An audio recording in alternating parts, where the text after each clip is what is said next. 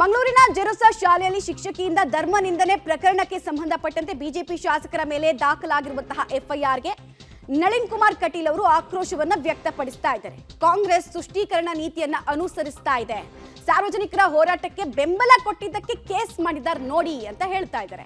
ಕಾಂಗ್ರೆಸ್ನ ಹೀನ ರಾಜಕಾರಣದ ವಿರುದ್ಧ ನಾವು ಹೋರಾಟವನ್ನ ಮಾಡ್ತೀವಿ ಅಂತ ಬಿಜೆಪಿ ಸಂಸದ ನಳಿನ್ ಕುಮಾರ್ ಕಟೀಲ್ ಅವರು ಎಚ್ಚರಿಕೆಯನ್ನ ಕೊಡ್ತಾ ಇದ್ದಾರೆ. ಈ ಮೂಲಕ ಮತ್ತೊಂದ್ಸಲ ಕೋಮು ಗಲಾಟೆಗಳು ನಡೆಯುತ್ತಾ ಅನ್ನೋ ಪ್ರಶ್ನೆ ಇದೆ.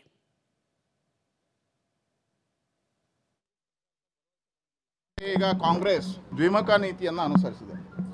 ಒಂದು ತುಷ್ಟೀಕರಣದ ನೀತಿಯನ್ನು ಮಾಡಿದೆ. ನನಗನ್ನಿಸ್ತದೆ ಆ ಶಾಲೆಯಲ್ಲಿ ರಾಮನ ವಿರುದ್ಧವಾಗಿರ್ತಕ್ಕಂಥ ಹೇಳಿಕೆಯನ್ನು ಕೊಟ್ಟ ಮಕ್ಕಳಲ್ಲಿ ಒಂದು ಕೋಮು ಭಾವನೆಯನ್ನು ಪ್ರಚೋದನೆ ಮಾಡಿರ್ತಕ್ಕಂಥ ಶಿಕ್ಷಕಿಯನ್ನು ಅಮಾನತುಗೊಳಿಸುವ ಬದಲು ಹೋರಾಟ ಸಾರ್ವಜನಿಕರು ಮಾಡಿದಾಗ ಅದಕ್ಕೆ ನೈತಿಕ ಬೆಂಬಲ ಕೊಟ್ಟಿರ್ತಕ್ಕಂಥ ಇಬ್ಬರು ಶಾಸಕರ ಮೇಲೆ ಕೇಸು. ಮಹಾನಗರ ಪಾಲಿಕೆಯ ಸದಸ್ಯರುಗಳ ಮೇಲೆ ಕೇಸು.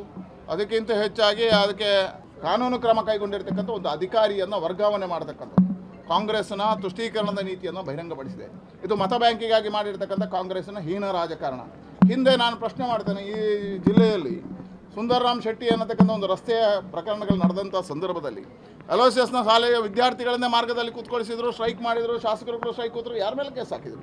ಇವತ್ತು ಒಂದು ಶಾಸಕರು ಜನ ಸಾಮಾನ್ಯರ ಸ್ವರವಾಗಿ ಧ್ವನಿಯಾಗಿ ಮಾತಾಡಿದ್ದಕ್ಕೆ ಇವತ್ತು ನಮ್ಮ ಭರಶೆಟ್ಟಿ ಮತ್ತು ನಮ್ಮ ವೇದವ್ಯಾಸ ಕಾಮತ್ರ ಮೇಲೆ ಕೇಸ್ ದಾಖಲು ಮಾಡತಕ್ಕಂಥ ಪ್ರಕ್ರಿಯೆ ನಡೆದಿದೆ. ಇದನ್ನು ನಾನು ಖಂಡಿಸ್ತೇನೆ. ವಿಶೇಷ